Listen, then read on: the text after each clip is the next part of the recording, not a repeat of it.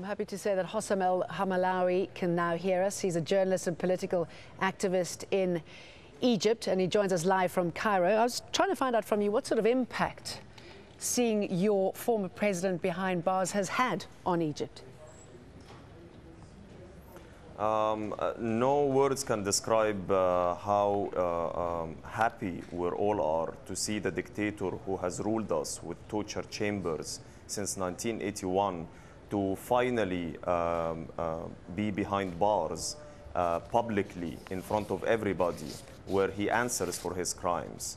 Uh, we're also happy to see definitely his uh, torturer in chief, as we call him, Habib al Adli, our former interior minister, to be also standing behind bars. But we understand a couple of things. One is that this would not have happened or would not have been possible without our uh, uh, pressures from below uh, via our sit-in in Tahrir Square, via our protests in the streets. Secondly, we understand also there are still regime figures who are uh, on the loose and they are free men while they should belong to the same cage. Like, for example, Omar Suleiman, our former spy chief. And has this restored, in your mind, the, the, the credibility of the military?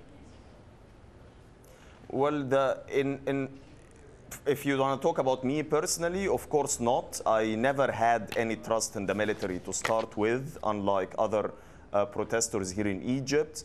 And we understand that the Supreme Council of the Armed Forces, who are Mubarak's appointed generals at the end of the day, would not, has, uh, would not have taken this move uh, if it wasn't for our street pressure.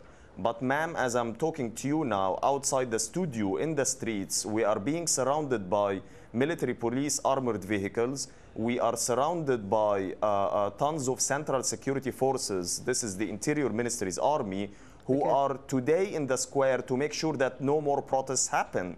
Okay, so, Hassan. w- I'm of afraid- course, we cannot trust them. I'm afraid we're going to have to leave it there. We'll certainly be keeping an eye on the situation on the streets.